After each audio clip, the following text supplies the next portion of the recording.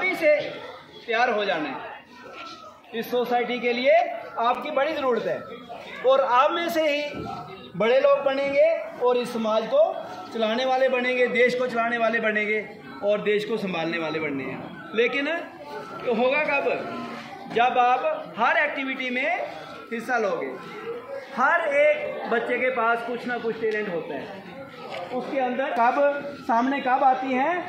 जब आप स्टेज पर आओगे, बोलोगे, क्लास में कुछ करके दिखाओगे तो फिर उसमें जो कमी पेशियाँ होती हैं तो फिर सर लोग उसमें आपको गाइड करते हैं और उस उस कला में फिर आपकी जो है वो उन्नति होती जाती है। लेकिन क्या करना है? जब आप पार्टिसिपेशन नहीं करोगे, तब आपकी जो कला है, जो आपके अंदर कोई टैलेंट है, वो वैसा का, वैसा ही रह जाता है।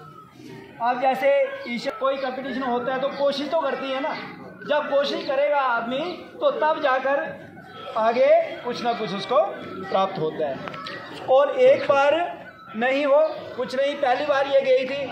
हो सकता है कल भी कंपटीशन हुआ था। तो तब इसको शायद कोई और क्या होता है कभी कभी हमें आता है, लेकिन हमारा डे साथ नहीं देता है।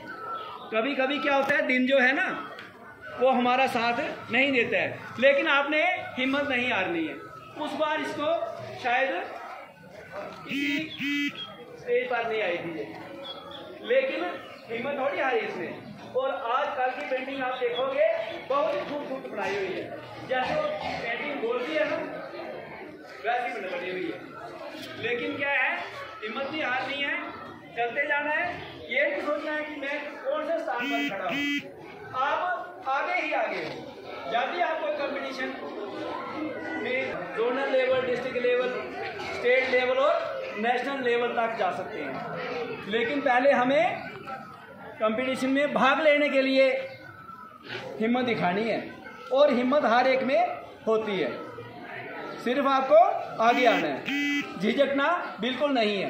ये हाउस बने हुए हैं ड्यूटियाँ दी जाती हैं। किसी का नाम लिखा जाता है तो वो पिटवाने की कोशिश करता है। करता है ना? क्यों? ये जो साथ वाले बच्चे जो आपके सामने यहाँ बोलते हैं, ये भी आपके क्लास के बच्चे हैं। इसी समाज से आते हैं। इनको कोई अलग से कुछ कोचिंग नहीं मिलती है। है ना?